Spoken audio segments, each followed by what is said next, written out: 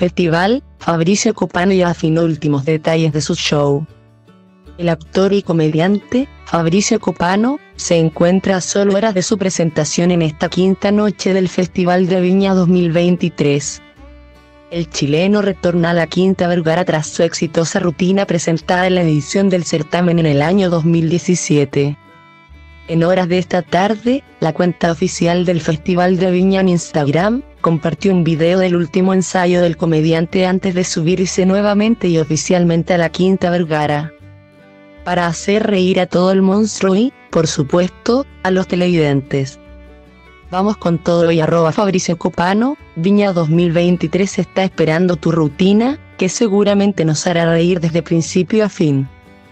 Redactaron desde la cuenta oficial del certamen Viña Marino. Súper contento, tenemos grandes sorpresas, la vamos a pasar muy muy bien, será un gran show.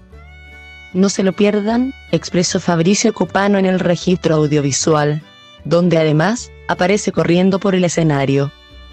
Durante esta mañana, Fabricio Copano, en una entrevista con el matinal de Canal 13, se refirió a cómo se siente ante su nueva presentación en el escenario de la Quinta Vergara.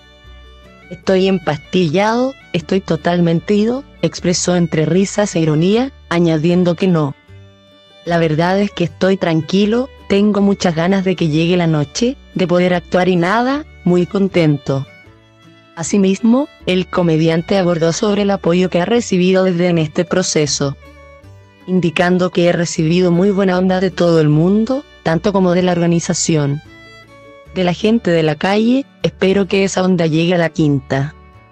Fabricio Copano felicitó a Pamela Leiva, quien se encuentra de panelista en el matinal.